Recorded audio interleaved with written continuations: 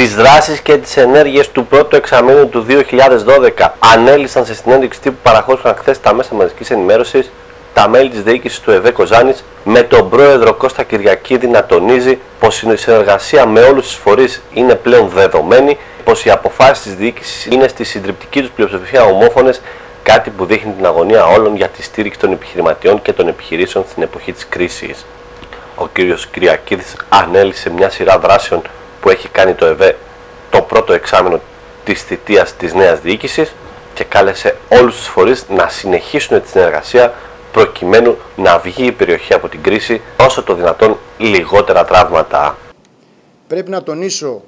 στο σημείο αυτό το πολύ καλό κλίμα στο Διοικητικό Συμβούλιο του Μιλητηρίου. Πρέπει να πω ότι οι αποφάσεις είναι όλες ομόφωνες σχεδόν, ομόφωνες από όλο το Διοικητικό Συμβούλιο και αυτό δείχνει ότι μοναδικός σκοπός όλων των μελών της διοίκησης πέραν των συνδυασμών που είχαμε στις εκλογές που είναι μια δημοκρατική διαδικασία είναι η ενίσχυση και η τόνωση και ταυτόχρονα η στήριξη της επιχειρηματικότητας. Θέλω να ευχαριστήσω από καρδιάς όλα τα μέλη της διοίκησης για την άψογη συνεργασία. Επίσης να ευχαριστήσω και τα παιδιά, το υπαλληλικό προσωπικό του μιλητηρίου. Σε όλα τα πεπραγμένα του προηγούμενου εξαμήνου θέλω να τονίσω ότι συνεργαστήκαμε άψογα με όλους τους φορείς. Περιφέρεια, Δήμους, Άγκο, εκπαιδευτικά ιδρύματα, Πανεπιστήμιο και ΤΕΗ, εργατικά κέντρα και επαγγελματικά σωματεία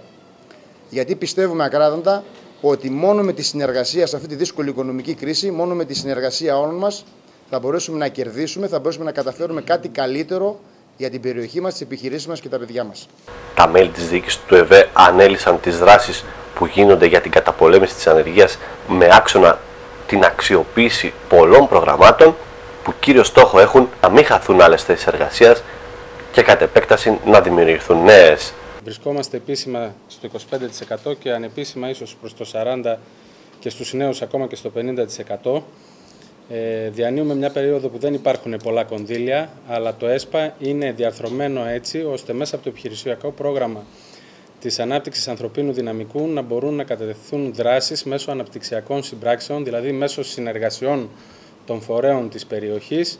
για την καταπολέμηση της ανεργίας. Έτσι, εκμεταλλευτήκαμε κάθε δυνατή πρόσκληση, υποβάλαμε πολλές προτάσεις. Ήδη κάποιες από αυτές είναι προσιλοποίηση, όπως η στήριξη ε, μέσα από την Αναπτυξιακή Σύμπρεξη Συμπράτο ε, για τις ευπαθείς κοινωνικές ομάδες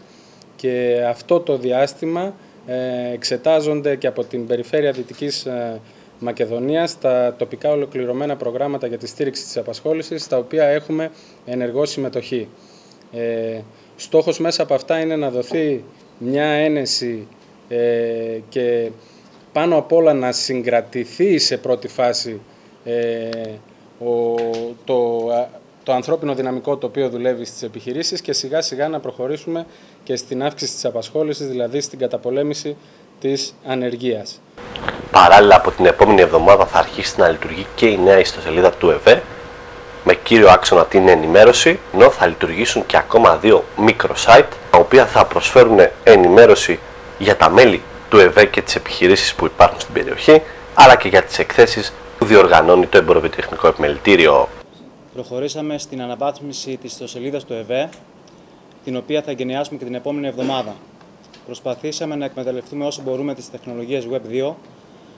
ώστε να παρουσιάσουμε μια ιστοσελίδα λειτουργική, φιλική, χρηστική και ουσιαστική με βαρύτητα στην ενημέρωση. Πλέον οι επισκέπτες της ιστοσελίδας θα μπορούν να ενημερώνονται και για την θεματολογία που τους ενδιαφέρει, είτε με RSS feeds, είτε με newsletter,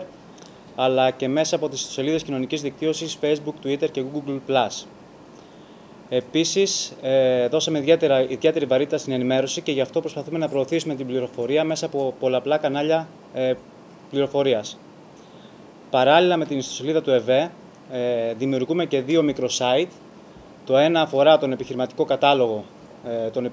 των, επιχειρήσεων που είναι μέλη του επιμελητηρίου και το άλλο microsite αφορά το εκθεσιακό πόρταλ, στο οποίο θα παρουσιάζουμε όλες τις εκθέσεις στις οποίες έχει συμμετέχει το ΕΒΕ, κάποιες πληροφορίες σχετικά με τις εκθέσεις, όπως αξιολογήσεις των συμμετεχόντων, ώστε να δημιουργήσουμε και ένα εργαλείο για σημείο αναφοράς, αλλά και για ανθρώπους που θέλουν μελλοντικά να επενδύσουν σε κάποια προώθηση των επιχειρηματικών τους ιδεών,